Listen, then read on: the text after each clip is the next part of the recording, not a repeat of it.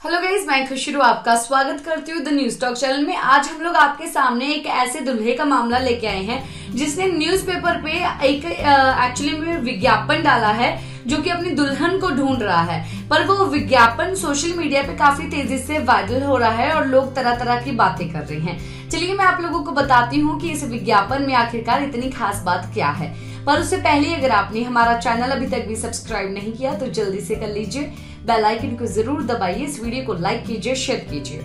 ये जो विज्ञापन है, वो पश्चिमी बंगाल के 37 वर्षीय वकील ने लिखा है, जिन्होंने एक्चुअली में ये चीज़ बताया है कि मुझे सुंदर, पतली, लंबी एक्चुअली में बीवी चाहिए। पर उसी के साथ उन्होंने एक डिमांड भी रखी है। उन्होंने ये भी चीज़ उस विज्ञापन में डाला है कि मैं वकील हूँ, मैं ये ये सब चीज़ें करता हूँ, मेरे घर में इतने सारे लोग हैं और मैं एक्चुअली में, मेरा अपना घर है और मेरे पास इतनी गाड़ियाँ, सब चीज़ें बोला है और ये भी चीज़ बोली है कि उनको दहेज वगैरह नहीं चाहिए।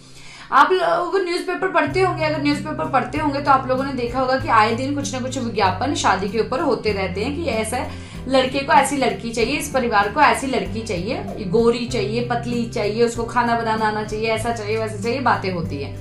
उसी के साथ यहाँ पर ये विज्ञापन इसीलिए इतना ज़्यादा वायरल हो रहा है कि एक्चुअली में इस बंदे ने बोला कि मुझे लंबी गोरी और एक्चुअली लंबी गोरी, पतली लड़की चाहिए, पर उसी के साथ उसको सोशल मीडिया की लत नहीं होनी चाहिए, उसका कोई भी अकाउंट सोशल मीडिया पे होना नहीं चाहिए। इसके ऊपर जैसा पता चला सोशल मीडिया पे ये जो विज्ञापन है, वो वायरल हो गया। लोग तरह तरह की बातें करने लगे। लोगों का कहना ये है कि आजकल ऐसी लड़कियाँ कहाँ मिलती हैं जिनका सोशल मीडिया पे एक भी अकाउंट ना हो।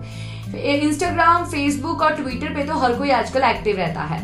अगर आप सोशल मीडिया की बात करें तो मतलब कि व्हाट्सएप पे भी बात नहीं करनी है तो वो भी सोशल मीडिया ही तो हो गया क्योंकि आप लोग एक एप्लीकेशन है, अगर एप्लीकेशन आप डाउनलोड करते हैं तो वो भी आप लोग एक्चुअली टेक्नोलॉजी से ही अटैच होते हो।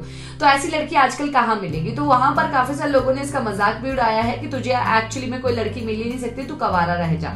काफ़ी सारा मस्ती भी, काफ़ी सारे लोग एक्चुअली में इनकी बातों से सहमत भी है। क्या आप लोगों को लगता है कि इनको लड़की मिल पाएगी जो कि सोशल मीडिया पे एक्टिव ना हो उसका कोई भी अकाउंट ना हो, ऐसी लड़कियाँ हैं तो बताइए ज़रूर हमें कमेंट बॉक्स में।